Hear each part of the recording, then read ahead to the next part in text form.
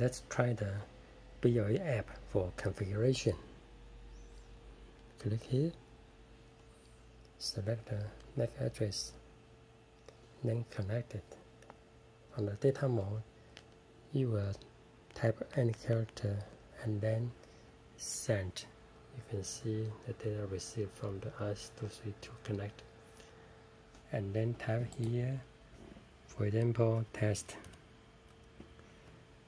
Then the app receive test here. When you change to the setup mode, you will configuration for the baud rate, data bit, start bit here. For example, you can change the baud rate and then you can select it and then submit.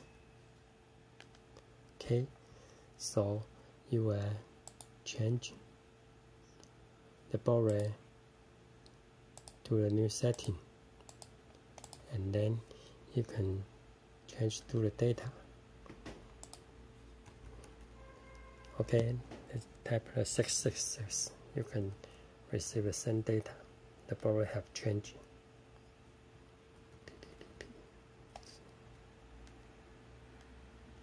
Okay